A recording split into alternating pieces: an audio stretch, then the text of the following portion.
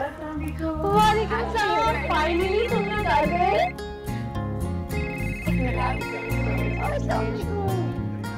फारिया यहाँ आवाज़ नहीं आ रही है। एक मिनट रुको। हाँ एक मिनट एक मिनट। अरे मेरी अभी बात हुई है उनको ऑफ़िस में। ससुराल वाले नहीं आएँगे? अरे नहीं यार।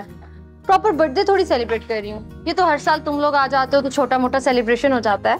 हमारे भाई ने विश किया। गिफ्ट दिया उन्होंने? विश भी किया और गिफ्ट भी दिया। वाह गिफ्ट भी दिया। नहीं अभी तक जॉब की बात की तो नहीं है मैंने। लेकिन मैं कर लूँगी। तब तक तुम देख लो। हम्म ठीक है। फारिया मैं तुम्हें अपनी सीवी भी ईमेल कर दूँगी। अल्लाह हाफिज। टेक केयर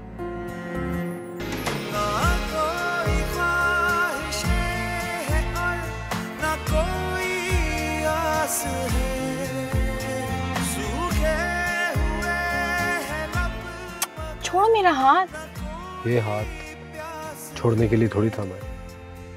अगर कोई आ गया ना तमाशा हो जाएगा हमजा छोड़ो। हो जाने दो तमाशा। इसी बहाने उन्हें हमारी मोहब्बत का तो पता चलेगा। जब मोहब्बत करना कोई गुनाह नहीं है तो फिर डर क्यों रही हो? तुम्हें पता है ना आज बाबा भी आए हुए हैं। मैं चाचू से नहीं डरता और रही अम्मी की बात कब तक नहीं मानेंगी?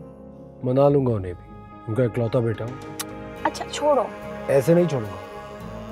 पहले बताओ सारी उम्र साथ दोगी? हाथ छोड़ोगे तभी बताऊँगी। जवाब दोगी तो हाथ छोड़ूँगा अच्छा बाबा दे दूँगी हाथ तो छोड़ो। कभी ना छोड़ने के लिए हाथ थामा है बात करता हूँ आज उनसे।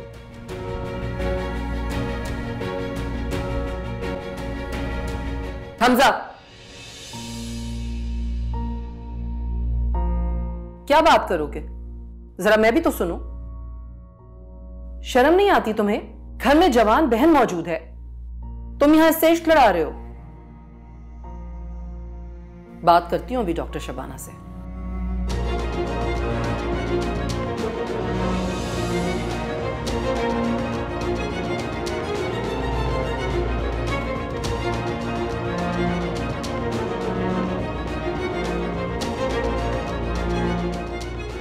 अभी बताती हूँ डॉक्टर शबाना को तुम्हारे करतूत में। तायमी मेरा कोई कसूर नहीं था। देखो जरा अपनी बेटी की हरकतें। क्या हुआ बेटा हनी? इससे क्या पूछ रही हो? मैं बताती हूँ क्या हो रहा है। मम्मी प्लीज़ चुप करो तुम। कितनी मर्तबा तुम्हें कहा है कि मुझे लड़की अच्छी नहीं लगती तो मतलब नहीं लगती?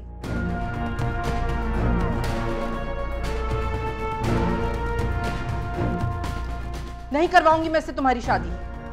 लेकिन तुम्हें तो समझ ही नहीं आता पता नहीं क्यों मरे जा रहे हो इस जैसी लड़की के लिए। किस जैसी लड़की? बेटी है वो मेरी। तुम्हारी बेटी जैसी लड़की के लिए। मुँह मत खुलवाना शबाना मेरा। मुँह तो अब खोल चुकी हैं भाभी। लेकिन मेरी बेटी के लिए एक लफ्ज और नहीं। उसे आपके बेटे की ज़रूरत नहीं है। तो फिर कह दो अपनी बेटी से कि मेरे बेटे का पीछा छोड़ दे। आप कहें ना अपने बेटे से कि वो उसके पीछे ना आया करे। मेरी हानिया को रिश्तों की कोई कमी नहीं है। रिश्ते। यही तरीका है आपका घर बुला के मेहमानों को जलील करने का। लेकिन अब मैं एक लफ्ज और बर्दाश्त नहीं करूँगी। हो क्या रहा है शबाना ये? कुछ बताओगी मुझे? इससे क्या पूछ रहे हैं? मैं बताती हूँ। बस भाभी। अब यहाँ में एक मिनट और नहीं रुकेंगे। चलो हानिया चलो बेटे चलिए हम यहाँ एक मिनट भी और नहीं रुकेंगे। आंटी प्लीज़ बस जो कुछ कहना था कह चुकी तुम्हारी माँ। इससे ज़्यादा बेजती बर्दाश्त नहीं करेंगे हम। चलो बच्चों। आप यहीं रुकेंगे।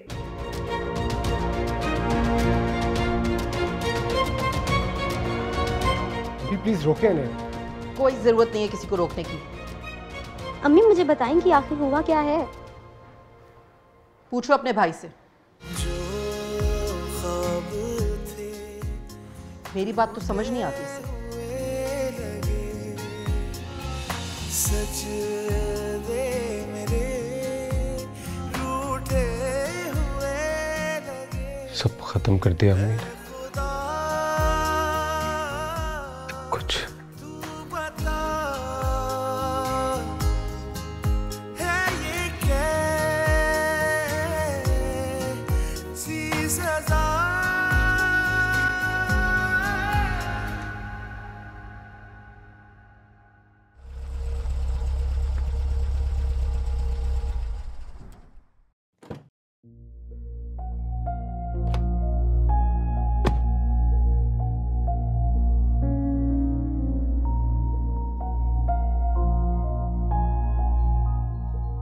अम्मी अम्मी क्या हुआ था वहाँ?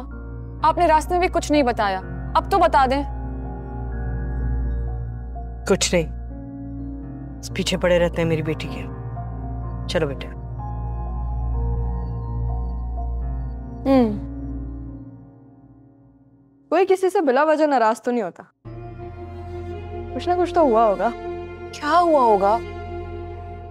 क्या होना है? ताई अम्मी ने देख लिया होगा हमजा भाई और हानिया को एक साथ।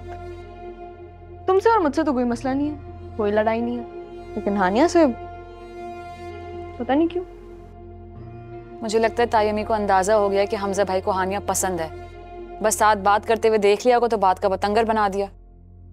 वैसे भी शिजा कह रही थी कि वो अपने भाई की बेटी से उनकी शादी करना चाहती हैं। वो क्या नाम है उसका? नक्चड़ी फाइजा? हाँ। खैर हमें क्या? खुद भुगतेंगी बाद में। वैसे सही है। ताई अम्मी के साथ वही सूट करती है। अलबत्ता हमजा भाई की ज़िंदगी बिगाड़ने जा रही है वो लेकिन हमें क्या? चलो।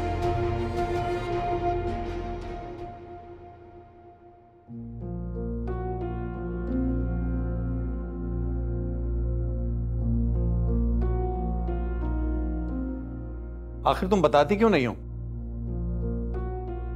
क्या चक्कर क्या है तुम्हारा हमजा के साथ? बोलो। क्या चक्कर होगा? भाभी को तो राई का पहाड़ बनाने की आदत है। चुप करो। जलील कराना था उनके सामने करा दिया तुमने। मैं इससे बात कर रहा हूँ। तुम बोल क्यों नहीं रही हो? सांप सूंघ गया तुम्हें।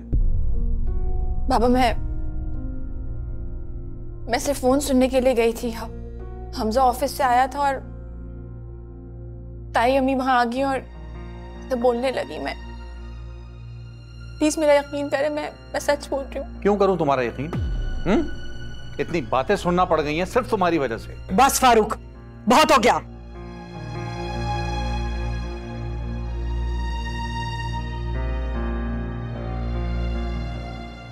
बाबा छोड़े ना। आपको तो पता है उनका। तुम्हें भी पता है उनका। सब जानती हैं वो। बचपन से लेके आज तक बाबा मैंने पूरी कोशिश की है कि आपको अपनी मोहब्बत का यकीन दिला दूँ। पर मैं अभी आपको कैसे यकीन दिलाऊं कि मैंने कुछ नहीं किया? मैं आपकी मोहब्बत में मर सकती हूँ बाबा लेकिन लेकिन मैं कभी भी आपकी इज़्ज़त पे दाग नहीं लगाऊँगी कभी भी नहीं। प्लीज़ प्लीज़ मेरा यकीन करें। हानिया हमें यकीन है तुम पर। लेकिन पापा को तो मेरी बात का यकीन कभी नहीं होता। रहने दो बेटा। तुम्हारी किसी बात का कोई असर नहीं होगा इन पर। नहीं अम्मी, इसी बात की वजह से मेरा वजूद एक सवालिया निशान बन गया है। पापा पे क्यों नहीं होता मेरी मोहब्बत का असर? वो मुझे किस बात की सजा दे रहे ठीक है, सजा दे रहे लेकिन कम अज कम मुझे मेरा कसूर तो बता दे, बाबा। मैंने ऐसा क्या किया है?